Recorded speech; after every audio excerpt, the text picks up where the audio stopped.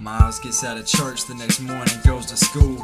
Takes out a book, then he starts to tell all the rules. Ignoring the fact he's been jacking off the nudes. That's okay, cause last night he paid the written dues.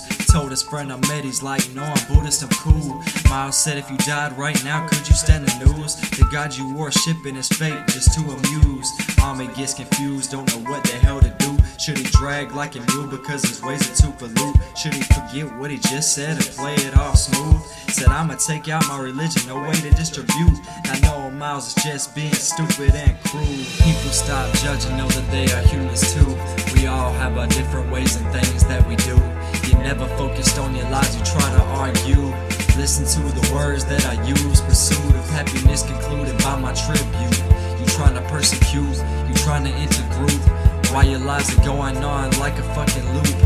I'm just telling the absolute truth. Yeah.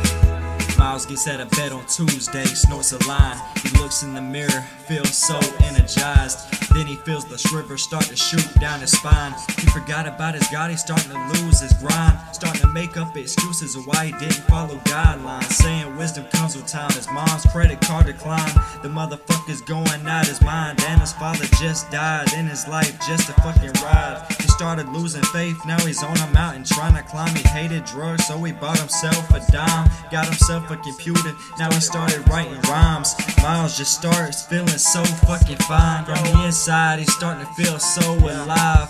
Now he maybe can change people what they've reached. Miles' soul will never be leased. To tell you the truth, Miles is really me. Tell these people DB. People stop judging, know that they are humans too. We all have our different ways and things that we do. You never focused on your lies, you try to argue.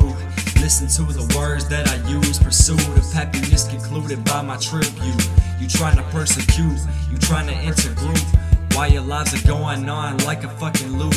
I'm just telling the absolute truth.